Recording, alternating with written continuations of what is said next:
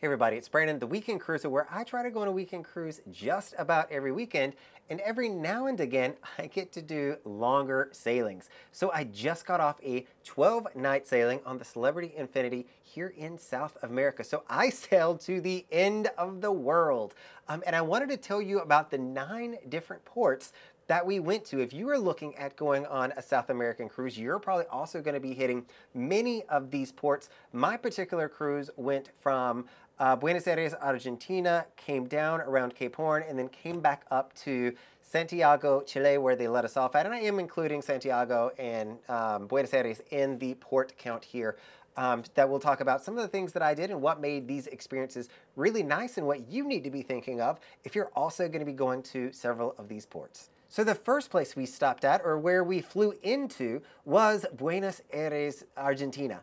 And so here, you are not going to be able to replicate what all I did, except for one of the experiences, because we were there for the World Cup, where Argentina took home the World Cup, and it was such a fantastic time. So I flew in on Saturday. The World Cup celebration was on Sunday, where we were able to go and watch with everybody, get in the crowds, head over to the obelisk. Um, and then on Tuesday, we had the parade with all the actual players from the Argentinian team that came in. And again, it was just people everywhere. It was such a good time, such a memorable experience, and probably one of my biggest highlights from this cruise is being in Argentina when they won the World Cup in 2022. I mean, such an amazing experience.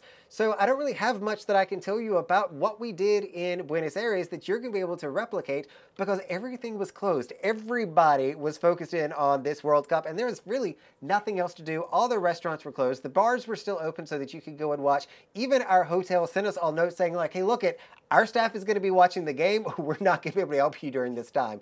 Um, so it's a really neat thing to be able to celebrate with them. But on Monday, the one day that we did have free, we did schedule a gaucho and ranch tour in San Antonio de Areco. Um, which was actually a really, really good time. And so we went through Get Your Guide, which is definitely one that I hands down recommend to all of you. And I'm going to link below to get your guide into this specific, specific link because it was a really, really good time. But with this ranch tour and gaucho experience, you know, you go out into um, San Antonio de Areco, which is kind of the countryside of Argentina, if you will, countryside of Buenos Aires. And we got to actually ride on a horse. And we're not talking like a five minute ride around the light post kind of tour. We, we've all done those. But this was like a 30 minute solid horseback riding experience. They didn't go fast. They're extremely well trained. Um, so I saw a lot of people doing it that I didn't think could, but we all figured it out.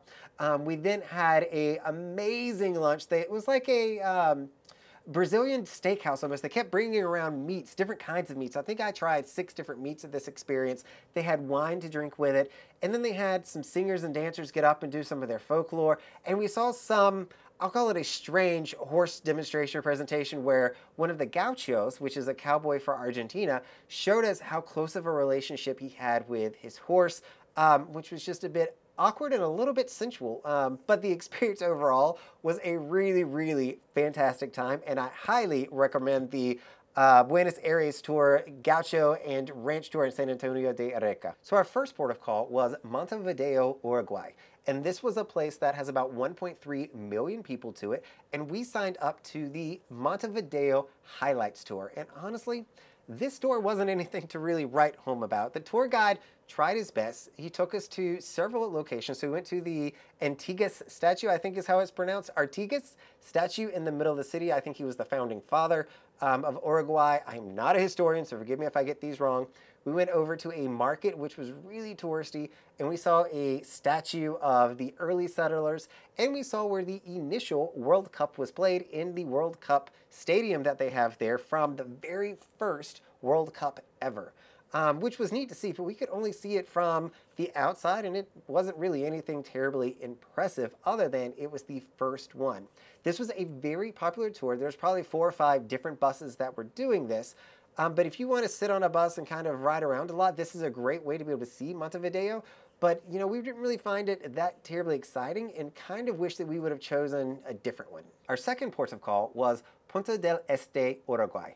And this is a town of about 500,000 people in the summer and only about 13,000 year round. That population number did go up with COVID. More people have moved there full time, but it is a smaller town. It is a vacation town. But even though those numbers are smaller, we felt like it had a lot more to offer than Montevideo did. Now we did the Ralli, Ralli, uh, I'll spell it out for everybody um, Ralli tour and Casa Pueblo tour, which was really interesting. We enjoyed this tour. So the Ralli Museum was actually really nice. The artwork that they had in there was contemporary. They had a lot of statues. They had a lot of different pieces, and it was much larger than I was anticipating for kind of a vacation town museum. It was a really nice place. If you get the chance to go there, please do. Casa Pueblo is an architectural kind of masterpiece, if you will. It is now a hotel, um, but you do get to walk through the common spaces. They have a little museum there. They have some artwork from this person uh, from Casa Pueblo.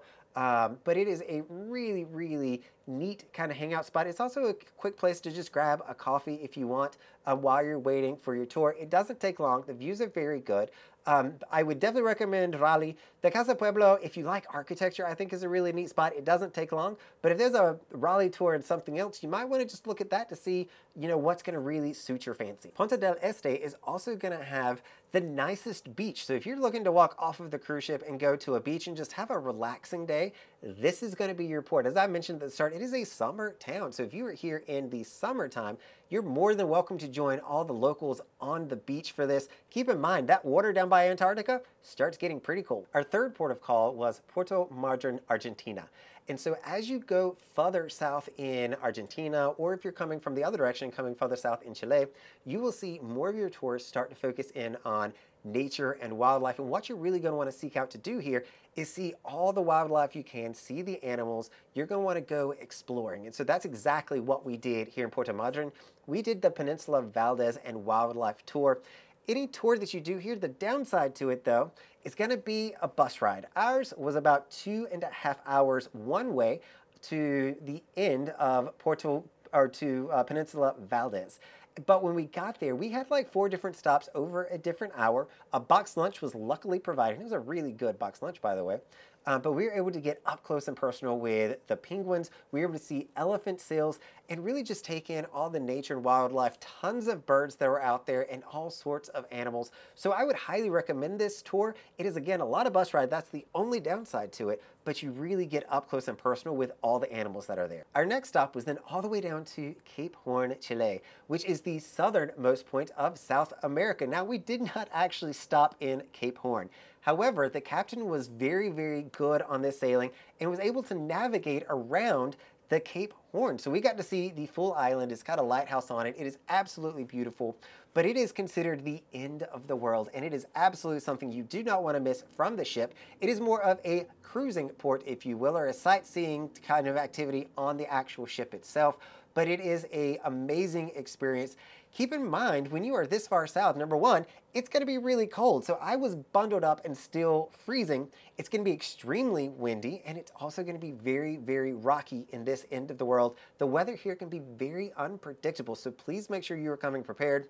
I did not bring heavy enough clothes or heavy enough jackets, um, so make sure that you're doing that so that when you get to Cape Horn where you can see it, you can go out to the front of the ship. So we went all the way up to decks 11 and 12 at the very forward section of the ship. And this is where we took a lot of amazing pictures of Cape Horn. So it was extremely windy up there, um, but it was a good time. It was also very cold, but it's got the shield that you can stand behind um, front to protect you from the wind. If you want a less windy option, I would recommend going down to the 10th floor of the solarium um, or going into um, the pool area that's going to have the sliding windows that you can stand behind for a little bit of protection. Our fourth port of call was Ushuaia, Argentina. And this was probably my favorite port that we stopped in. And honestly, it reminded me a lot of a little Alaskan town. So if you've taken a cruise over to Alaska, you may have a little bit of deja vu as you come to Ushuaia, which is considered the gateway to Antarctica. And so what we did here was a catamaran ride directly from the port. So we didn't have to walk far at all, but we were able to get on a catamaran and then we went out and again looked at wildlife. So we were able to see um, sea lions, penguins, uh, in two different locations. Lots of amazing birds as well that we were able to pick up. There was um, a condor that was actually by one of the lighthouses that we got really close to. Um, so it's just neat to be able to experience that and see that. But here, the key it's going to be chilly once again. Uh, the weather is unpredictable in this part of the world. Luckily, the catamaran did have indoor spaces for us. We were not sitting out like you might think of a catamaran in the Caribbean, where you're sitting on the netting getting some sun. You're still going to want to bring your jackets to stay warm. The inside area was also on the cooler side. The heating system didn't work too well. It's better than standing outside, um, but it did its job. It kept us warm enough to make sure that we were comfortable getting back into Ushuaia when we came back. This was probably about a four hour tour, so it was on the shorter side. It dropped us off in time for lunch. And so when it dropped us off, we just walked right into town because you're already right in the heart of everything. Um, and we went to an amazing steakhouse called Agostino. And it's actually the very first restaurant we got to, which is kind of why we chose it because we were starving, we were hungry. And so we said, let's just do it. It looks nice. We went in there. Um, there wasn't many people who got there, but when we left, it was absolutely packed the steaks that we had, we had two of them, and I'll post a picture of it, um, were incredible. I could not eat even 25% of probably what they served me, but I felt horrible for it because it was so good. Um, it was absolutely the best steak that we'd had on this entire trip. So if you get a chance to go to Agostino in Ushuaia, I highly recommend it. They've also got a little bit of shopping. I would say this port probably has the best shopping for all the places you can go if you're looking for touristy items or even maybe some winter clothing. This is going to be the best place to be able to find um, some of those things for what you're looking for. Also, some really neat um, photo opportunities from, they have a, a, walking area along the water that you can get pictures of the ship.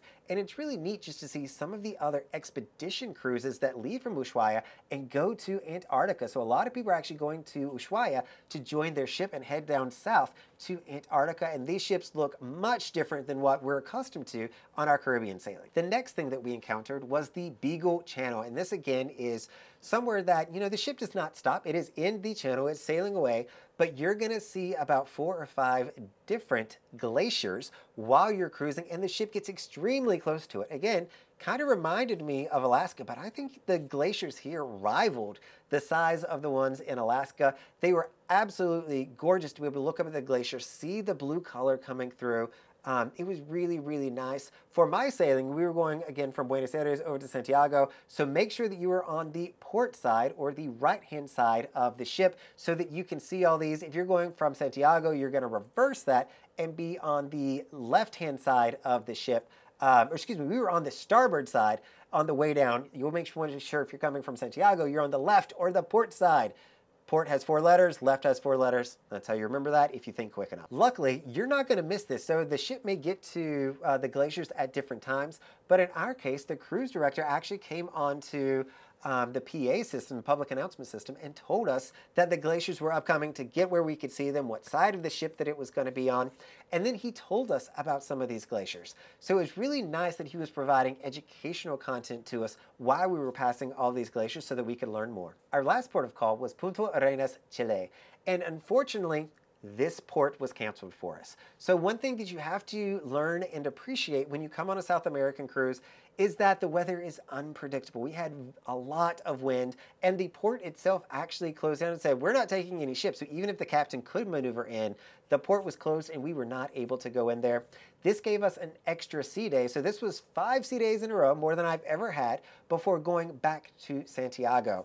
So I can't really advise on what to do here because I didn't get a chance to do it, but I can advise on when you go to this area, make sure that you understand that ports can be canceled. You want to make sure that you've got backup plans and solid things to do on the ships is you may have more days there than you traditionally would. And then we finally returned back to Santiago, Chile. And now we stayed a few more days in Santiago. You can see my hotel room. I'm still here in Santiago, actually flying out tonight.